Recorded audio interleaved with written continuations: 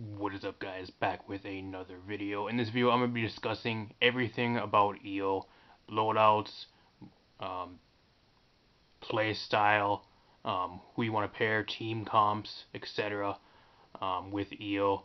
Uh, I've legit played Io, I don't know, like non-stop. She was released on Wednesday, it's Saturday now. I've legit played her like non-stop for almost three days. Um, gonna go over it. If you guys are hyped for this and you guys want more videos like this, please leave a like and subscribe because I'm gonna be going over a lot in this video. Um, it, you can also just tab out as well. There's not gonna be too much on screen that you guys can really see until we get to the loadout section. Um, so Io uh, or Io, uh, new support champion. I legit got uh, Io to level 30. Now, granted, it, it was because there actually is a double EXP weekend going on, but I think out of all the new champions that we actually got, I think Io is actually the first champion that I, I've legit got to level 30 in three days out of all the champions in the game. Um, she's the only one. Even Maeve, and I played the shit out of Maeve when I got her, um, when I first started beginning. Um, now this is to be mainly for console, because I play on console, so I'm to be talking in a console-like type preference. Mainly for everything that I kind of talk about for Io, um, as a healer, etc. Um, gonna go over the talents real quick. Goddess Blessing, allies being healed, gain 25 DR, um, 25% DR. Great talent. Um, I think it's more of a niche talent. It's probably gonna be your second choice of talent if you have like another type of healer on your team. If you're gonna be want to, if you're gonna want to be like a main type healer, Goddess Blessing is not your choice. Um, Lifelink, probably your best talent um, that you're gonna be using pretty much almost every game. Luna now heals heals allies around her for 300 health per second her best talent by far. You're going to be choosing this like 99% of your games. Um, if you're going to be playing like a solo main healer. Sacrifice, absolutely useless talent. If Io falls below 200 health while Luna is active, she trades places with Luna, heals, and Luna dies instead of in her place. Absolutely useless talent. It has is too high of an internal cooldown. Um, sacrifice, you're never going to be using it. Um, granted, does Io does Io does decent damage, but you're not going to be using this. It has too high of an internal cooldown to even be usable. Um, if they want to rework it, they need to lower the internal cooldown to like about 20 seconds for it to at least be semi-viable.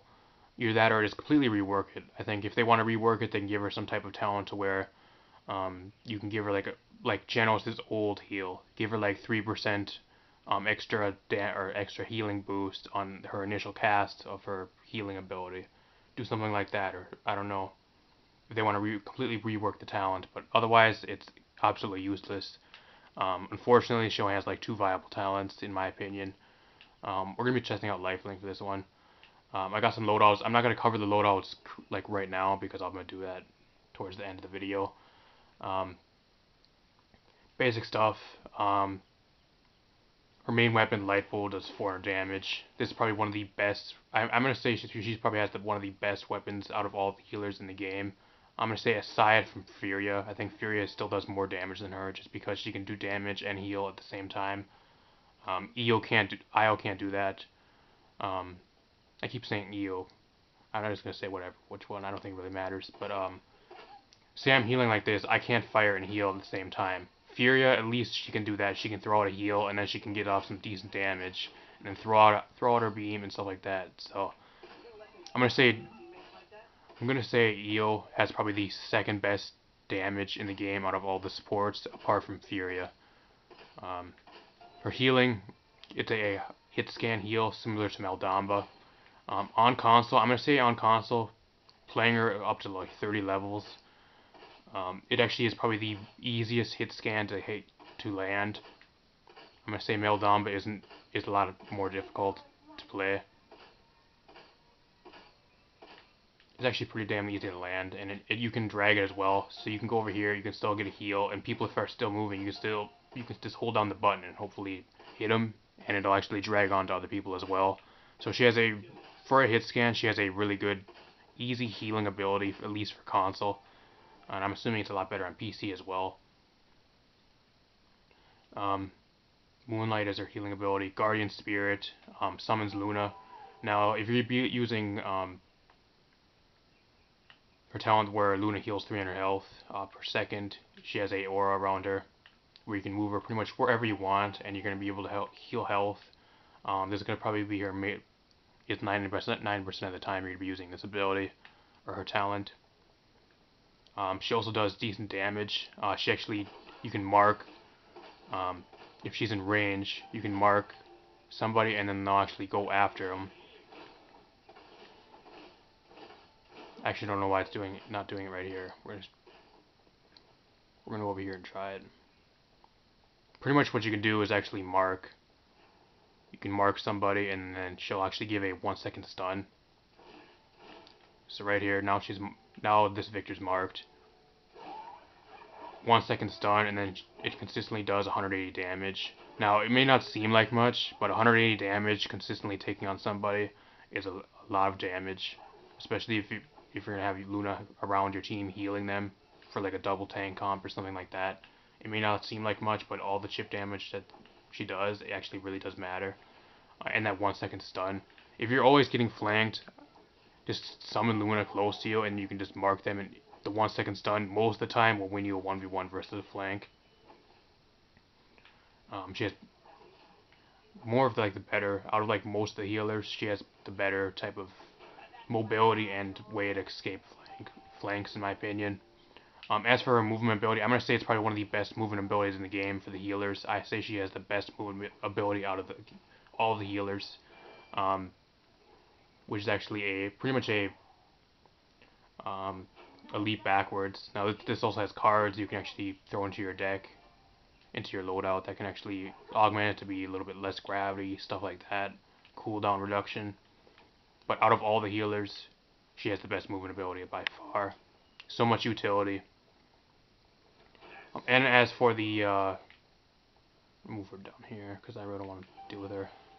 As for the alt, um, it's pretty much it's kind of like a, a Torvald beam, but instead it can you it carries people um, all the way back, and if it hits a wall, it does 800 damage. Um, it depends on what also like what type of ground you're standing on. So if you're standing on like a low ground, like right here, or if I'm uh, like up here, it's gonna go up here, and then it's gonna go a little bit higher, and then you can possibly carry people off the map over type over walls or over like small obstacles it depends on what kind of ground you're on. If you're on high ground, you're going to have a little bit easier time to knock people off the map. Um, so it's kind of unique in that way to where you want to set it up and know how to use it properly to at least get a kill or knock somebody off the map. Apart from that, not really too much else to talk about here. I'm going to talk about some loadouts and then some good team comps and some good tanks and some good um, other characters and other champions to pair with her. Apart from that, I think she, on console she's actually for her overall loadout. I think people want her to see her buffed, but I think she's at one of those champions to where it's kind of like an Atlas. Everybody thought Atlas was super underpowered and super shitty when he first got released, but I think Io's going to be the same way to where it's going to take like a couple months to, for people to start being able to play her well, and I think after that she's going to be insanely good. Once you can play her well, she does she has enough healing and enough sustain to to point where she can do consistent healing and solo healing by herself. That's no problem for her. Uh, you just have to draft a comp kind of based around her and have to have a little bit more game awareness and know how to use her entire kit. She's a if you're like in a uh, siege game and you're going against like flanks and like an entire a good team comp, there's a lot going on. I think that's a lot for a lot of players, especially her being a hit scan on console. Um, I can see why a lot of players really don't care for her um, but at the same time, if you can put in the work, I think she's going to be insanely good. Um, but I think right now I'd probably put her like in run an S minus until people start getting good with her. I think I'd probably put her top tier healer in the game in like a, probably like a month from now, depending on if she gets buffed or nerfed. I don't think she's gonna get nerfed anytime soon though. I don't think she's to the point where she's absolutely overpowered to the point where she's gonna get a nerf. Um, I think she's perfect as as she is. The, they, the only thing they really need to change is sacrifice because she only has two viable talents. Her third talent is absolutely useless. As for loadouts, I'm just gonna go quickly over um, her skins real quick. She has some great skins. She's probably one of the only characters in the game that actually has a recolor that actually looks good and actually changes her to the point where it's actually entirely different from her base skin. Not many other champions in the game actually have that. Um, her Pharol, which is her recolor, looks really good. Um, Starfall, I mean, all the, se- the, the season pass skins are kind of lame in my opinion, if I'm being honest with you. Um, we have the golden skin, which looks absolutely insane. Nice, absolutely insane skin, really cool. Uh, as for loadouts, I have, I have a few different loadouts here that I'm going to show you guys. I'm not really going to cover the last two loadouts. This here is actually a sacrifice test. Loadout I actually was trying to use. It does not go well at all. Absolutely worthless talent. I could not make this loadout work for the life of me. I also had these two cards changed out with like some, with um, her lower gravity cards. Didn't it, I did even worse. Uh, sacrifice is so bad. Um, also, I had this this loadout actually was testing. I actually don't even think I need this loadout anymore um, because I can actually still heal two tanks decently well. I thought she was going to be a little bit low on healing for two tanks, so I kind of made a loadout with more moonlight regeneration. I think that this loadout here is probably going to be the best loadout if you guys want like a solo healer loadout for Io. Um, this is actually for I for um, her lifelink talent. So if you're going to be running lifelink, which is 99% of the time, if you want to be a solo healing Io, you're going to have to be running lifelink. Got Broken Deity. Some of these can be changed out a little bit as well, depending on your playstyle. But for me personally, this is probably the best loadout I've found for so for so far. Um, after playing her for three days like non-stop. Um, increased L Luna's deploy range. Her base deploy range is absolute garbage. If you want to be able to put around corners and have some decent range to the point where you can heal tanks and heal squishies a lot easier with her 300 healing per second, you, you throw that up to 4. Um, just a little bit of self-sustain I threw on this loadout just because I, for me personally, I don't want to have to rely on other people to heal me or the or Luna to heal me or out of combat healing. Um, this year is probably going to be this card, the Sanctum of Faith, is probably a five out of like every every loadout. It's probably one of her best cards and one of her most crucial cards. You're gonna be running that out out of five in most of her cards and most of her loadouts. Um, Moonlight Garden hits with the bow restored 8, percent Moonlight. Like I said, if you want to be able to heal double tank, you're going to be able to run in these three cards. This here is just kind of a filler card. I threw this on here to give her some more Moonlight. Um, before I had this card different, and I think once I threw this card on, I was able to heal double tank a lot easier and consistently heal them between these three cards. These two cards are more filler, but this one here is a little bit better for Luna. But if you want a solid loadout, try this loadout. I'm completely fine with you guys taking my loadouts and trying it out. Um, next loadout I'm actually going to be showing you guys this year is actually for her um, damage reduction talent, um, which is called, I forgot what it's called, Goddess Blessing. Uh, this year actually to be really overpowered, but you're to have to have like a, a, some other type of healer, like a main type healer, like a Furia or like a Jenos or like a Grohk on your team because you're not to be solo healing everybody. You're to be pocketing one person like the entire game. That's what this loadout is meant for. And it does work insanely well. You pair this with like a Terminus or like a uh, some type of flank like a Koga or something like that and you just follow them around all game. Um, giving them movement speed. 40% movement speed while being healed is absolutely insane. If anything, this card actually might not get getting nerfed in sometime in the future because that's insane. Not even Grover has that.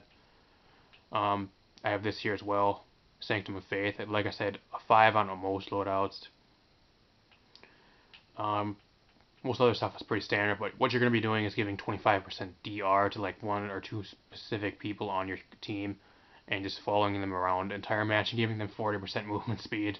That's legit all it is the entire game. It's kind of like a Torvald, but instead of Torvald giving like a, a shield, you're going to be giving consistent healing for about like 2 to 3 seconds at a time. That's pretty much what this loadout is meant for. And DR. So I can see this actually being very powerful on like double healer comps. Like I said, you need to have like a Jenos or like a secondary healer for this to work. She's not going to be solo healing and solo carrying a team by heals with this loadout and with that talent, but it can be very good as well as well with this. Apart from that, um, this here is kind of just another loadout. I kind of just tested this out. I really haven't used it that much. If you guys want to test it out, go ahead. Other stuff, like I said, not really using these loadouts. I just kind of have them there just because in case I ever want to use them again. apart from that, not really too much else to talk about apart from team comps. Now, if you're going to be running team comps, I think Terminus is probably the best tank to run with Io. You're going to be running Terminus like every game um, if you want like a solid tank. His ability to, to get rid of the cot by just throwing up his siphon and uh, getting consistently healed. Also, the movement speed, if you want to run, movement speed on your loadout. Uh, Terminus is one of those front lines that greatly benefits from movement speed. You throw like a 10% movement speed buff on his healing um, that he's going to be receiving, and he's going to be un- pretty much unstoppable. I've had so many games to right now that with Terminus on a comp, and I actually ran like um, some healing. I think it was healing and speed buff when I was healing, and it was absolutely insane. So I think if you want a decent tank to pair with Io, go ahead pick Terminus. You can pretty much use all the other tanks as well. Um, a lot of the other tanks, the only tanks I wouldn't use and pair with Io is Ruckus and Torvald because personal shields late game they really can't do much, and once COTS gets online, they really can't combat COT. And if you can get rid of COT, Io can be really you can combat COT really well. Io can be super good, but if you can't really do anything about COT, then or cauterize, then she's not really going to be that effective. Makoa is also very great. Inara, I say Inara is probably like a top tank you can pair with. If you want to pick Inara. Um, at least for tanks. Other stuff, I'm not really going to cover anything else because I'm not quite sure. It all really depends on the tank. If you're going to be healing, your tank's the main thing you're, you're going to be want to want to go for, right? I think Atlas is also probably like number three if you want to throw Atlas, um, Atlas onto a team. He's able to stand behind a shield and get a cauterize free heals because his shield's not affected by Wrecker. Uh, he also has self-sustain in his loadout, so that's really cool. Apart from that, I'm not really going to talk about too much else. Um, hope you guys did enjoy. I'm going to probably be making a tier list video hopefully here in the next week or so, uh, once I can find a updated tier list um, where I'm able to make a tier list. But apart from that, hope you guys enjoy. Um, drop a like down below and subscribe if you guys want more videos like this in the future. And I'll see you guys in a future video. If you have any questions or anything like that as well, let me know in the comment section down below and I'll be happy to answer those. See you guys in a future video. Thanks for watching.